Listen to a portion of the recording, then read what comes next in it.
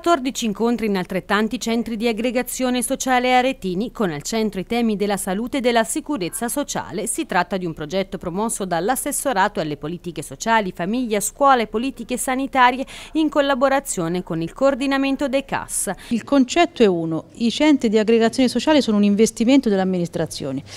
Arezzo ha 100.000 abitanti, gli iscritti sono 5.000, vogliamo arrivare anche agli altri 95.000, cioè far sì che ogni CAS sia un punto di informazione e di aggregazione utile a tutti i cittadini di Arezzo. Perché queste due tematiche?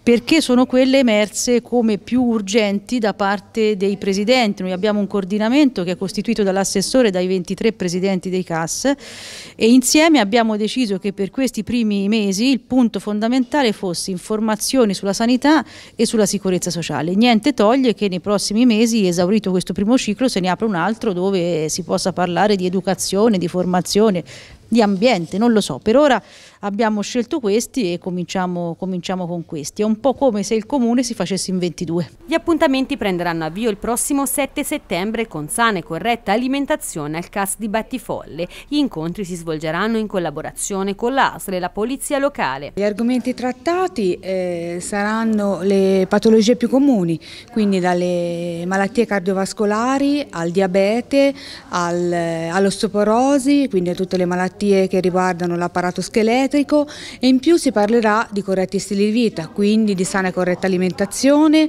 eh, si parlerà di attività fisica adattata, eh, quindi tutto quello ciò che concerne eh, il vivere sano e il, il vivere bene.